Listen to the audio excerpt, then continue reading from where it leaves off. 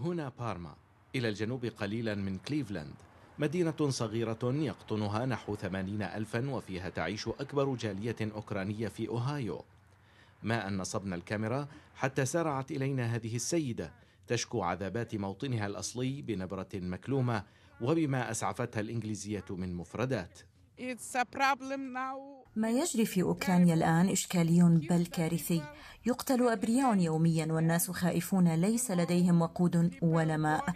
نحتاج إلى المساعدة كي نوقف قتل بوتين للأبرياء. داخل هذا المتجر تباع بضائع أوكرانية وأخرى من أوروبا الشرقية. معظم الزبائن وكل العاملين في المتجر هم من الأوكران.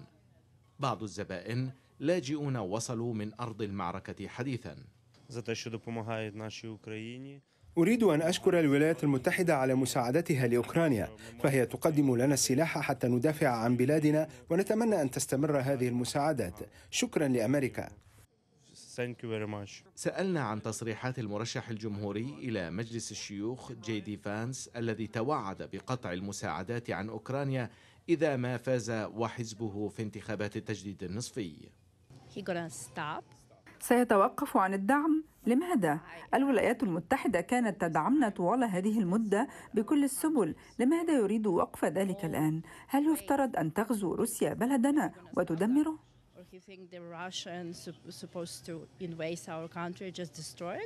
معظم من قابلناهم شددوا على أهمية المساعدات الأمريكية في مواجهة روسيا وعندما هممنا بالمغادرة لحقت بنا فتاة لا تتحدث الإنجليزية لكنها أرادت أن تسجل موقفها مما يجري في موطنها الأصلي. لا تكون السياسة الخارجية على رأس اهتمامات المرشحين في سباق التجديد النصفي عادة لكن تصريحات المرشح الجمهوري جي دي فانس قد تكلفه أصوات نحو أربعة آلاف أمريكي من أصول أوكرانية يعيشون في بارما بولاية أوهايو. أمجد المالكي الحرة بارما أوهايو.